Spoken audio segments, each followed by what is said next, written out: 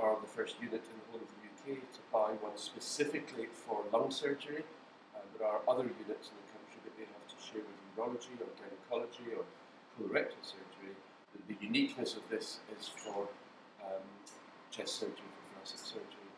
It is really, although it looks very complicated, it's an extension of what we already do on our keyhole, our minimum invasive platform, and uh, this is we're taking one thing, one stage forward.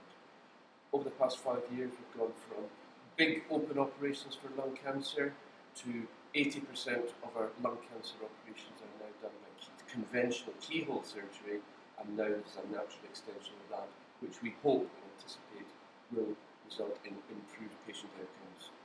Well, I was expecting quite a lot of pain because obviously it's, it's a major operation that I've had, but my experience was entirely different to, to my expectations. When I came out of, when I came round after the surgery, I'd been fitted with a self-administering morphine pump, which I found only had to use once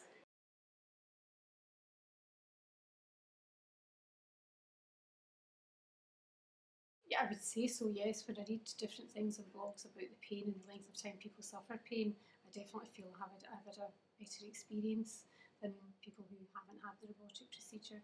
And I would definitely recommend anyone that, needs this surgery to, to go ahead with it. Mm. It's obviously daunting to, to have to have something like this, but anything that makes it easier is definitely for the good.